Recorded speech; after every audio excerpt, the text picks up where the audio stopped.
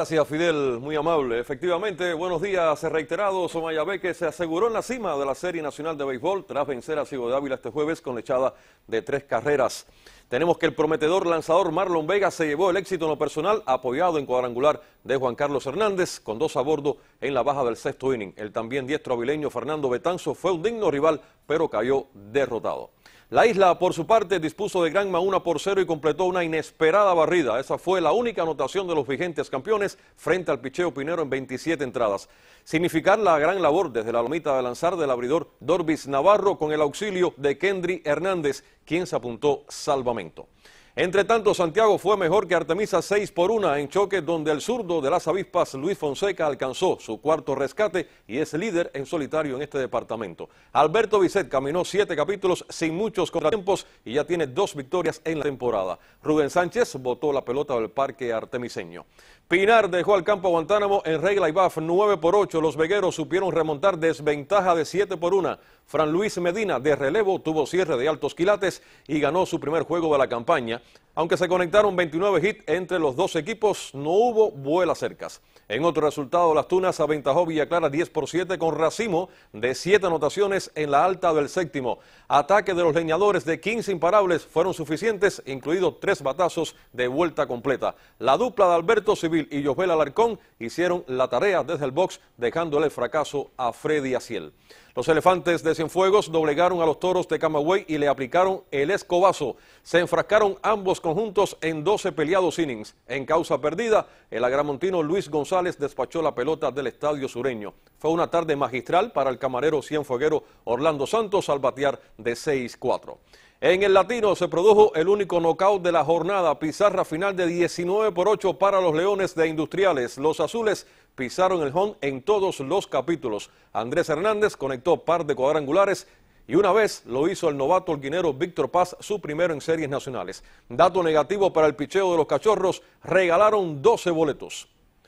Finalmente el juego entre Matanzas y Santi Espíritus fue suspendido. Varios integrantes de los gallos fueron positivos al test de antígeno y a la espera hoy de las pruebas concluyentes de PCR se conocerá si pueden celebrar el cotejo particular ante industriales este fin de semana en el Huelga. Seguimos con más importantes temas en la organización de la Liga Superior de Baloncesto con vista a mantenerla entre los principales espectáculos deportivos. Se analizaron en reunión celebrada este jueves. Sobre el tema, la comisionada nacional Dalia Henry ofreció sus declaraciones al colega Guillermo Rodríguez.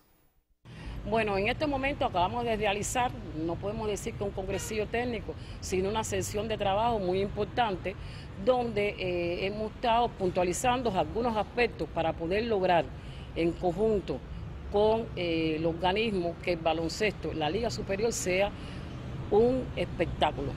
Eh, hemos tomado algunas medidas, hemos revisado algunos aspectos sobre la disciplina de los atletas, entrenadores, la responsabilidad de los jefes técnicos y demás, y hemos tenido un contacto con las provincias para ver en estos momentos qué condiciones están.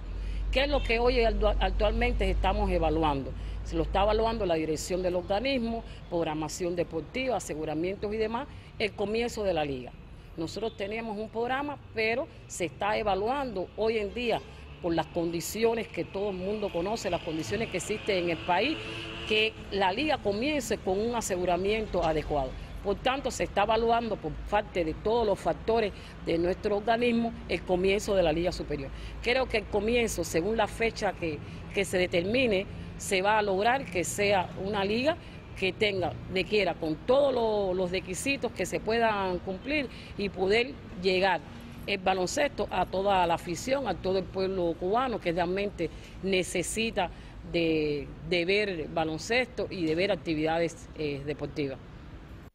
Mañana sábado será inaugurado el torneo Apertura de la Liga Cubana de Fútbol. El pentacampeón cubano Ciego de Ávila será anfitrión de Santi Espíritus en la cancha de Morón. Los tiburones fueron abanderados en el Parque José Martí de la capital avileña. Son los tiburones del fútbol cubano, el mejor equipo de la pasada Liga Nacional, interrumpida por la COVID-19. En el momento que fue suspendida la temporada, el once avileño marchaba invicto en la primera posición del torneo de clausura, con cuatro puntos de ventaja sobre Villa Clara, su más cercano perseguidor. Dos años han transcurrido, pero el ímpetu ganador continúa en las filas de los cinco veces campeones de Cuba. El compromiso de mantenerse en la cima quedó patentizado durante la ceremonia de abanderamiento realizada este jueves en el Parque José Martí de la capital provincial. El miembro de la selección nacional, Asmel Núñez, además de líder, es el abanderado en esta ocasión, mientras la responsabilidad de capitán recae en el defensa José Perdomo, quien anunció los propósitos en nombre del colectivo.